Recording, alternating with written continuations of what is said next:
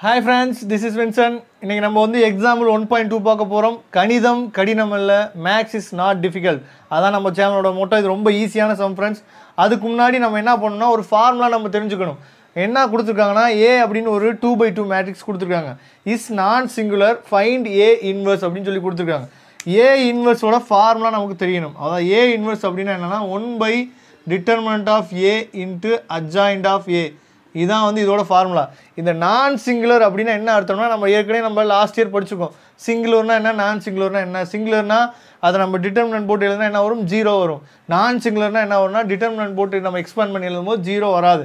அப்போ இந்த இடத்துல அதாவது இந்த டிட்டர்மினன்ட்ங்கிற இடத்துல நமக்கு என்ன வரக்கூடாதுன்னா அதாவது determinant of A is not equal to zero அப்படி இருந்தால் மட்டும்தான் நம்ம என்ன கண்டுபிடிக்க முடியும்னா ஏ இன்வெர்ஸ் கண்டுபிடிக்க முடியும். இது ஒரு ஒன் வேலில் கூட கேட்கலாம் ஃப்ரெண்ட்ஸ் அதனால் பார்த்துக்குங்க. அதாவது ஏ இன்வெர்ஸ் எப்போ நம்ம கண்டுபிடிக்க முடியும்னா determinant of A not equal to zero அதாவது ஏயின் அணிக்கோவையானது என்னவாக இருக்கக்கூடாதுன்னா ஜீரோவாக இருக்கக்கூடாது. ஜீரோவாக இருக்காமல் இல்லாமல் இருந்தால் தான் இது என்ன கண்டுபிடிக்கணும்னா ஏ இன்வெர்ஸ் கண்டுபிடிக்க முடியும். நேர்மாறு கண்டுபிடிக்க முடியும். இல்லாட்டி நம்ம என்ன பண்ண முடியாதுன்னா சப்போஸ் இந்த இடத்துல ஜீரோ வந்துச்சுன்னா இதெல்லாம் இன்ஃபினிட்டிவாக மாறிடும்.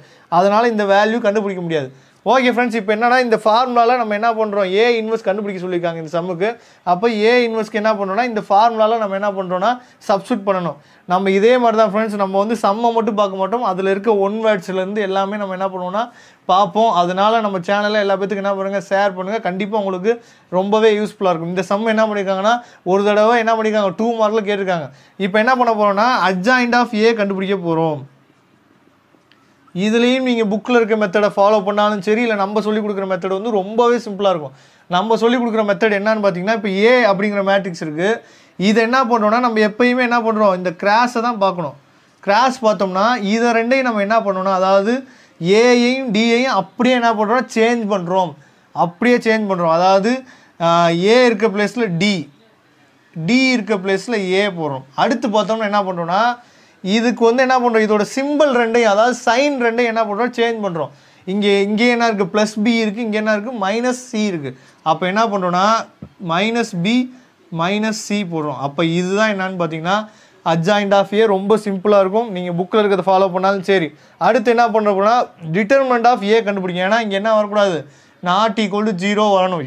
இப்போ டிட்டர்மெண்ட் ஆஃப் ஏ கண்டுபிடிக்க போகிறோம் டிட்டர்மெண்ட் ஆஃப் ஏன்னா உங்களுக்கே தெரியும் என்ன பண்ணணும்? இது ரெண்டையும் கிராஸ் மல்டிபிள் பண்ணிவிட்டு இதுக்கு என்ன பண்ணுறோம் சைனை மாற்றி போடணும். அப்போ இது ரெண்டையும் மல்டிபிள் பண்ணால் நமக்கு என்ன கிடைக்கும்? ஏ டி அடுத்து இது ரெண்டையும் நம்ம மல்டிபிள் பண்ணால் என்ன பிடிக்கும் ப்ளஸ் பிசி கிடைக்கும். ஆனால் இங்கே போடும்போது என்ன பண்ணால் மைனஸ் பிசி போடணும்.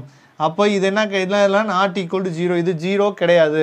அப்போ இந்த ரெண்டு வேல்யூ கொண்டு போய் எங்கே சப்ஸ்டியூட் பண்ணுறோன்னா சம்மில் அதாவது ஃபார்முலாவில் சப்ஸ்டியூட் பண்ணோம்னா ஏ இன்வர்ஸ் ஈக்குவல் டு என்ன வரும்? One by AD minus BC into பார்த்தீங்கன்னா அதாவது adjoint of A adjoint of என்ன கண்டுபிடிச்சிருக்கோம்? D minus B minus C A okay friends அவ்வளோதான் ரொம்ப சிம்பிளாக முடிஞ்சிச்சு. இந்த சம் வந்து ஒன் டைம் கேட்டிருக்காங்க. அதனால் டூ மார்க்கில் இந்த சம் என்ன பண்ணலாம்? கேட்குறதுக்கு சான்சஸ் இருக்குது இந்த அட்ஜாயிண்ட் ஆஃப் ஏவும் நீங்கள் என்ன பண்ணலாம்? ஒன் வேலில் கேட்குறதுக்கு சான்சஸ் இருக்குது இந்த அட்ஜாயிண்ட் ஆஃபியை கண்டுபிடிச்ச பாருங்கள் டூ பை டூ அட்ஜாயிண்ட் ஆஃபியை கண்டுபிடிச்சோம்ல இது ஒன் வேலை கேட்குறதுக்கு சான்சஸ் இருக்குது ஓகே ஃப்ரெண்ட்ஸ் நம்ம நெக்ஸ்ட் சம்மில் பார்க்கலாம். அதுவரை உங்களிடம் விடைபெறுவது உங்கள் நண்பன் வின்சென்ட் தேங்க்யூ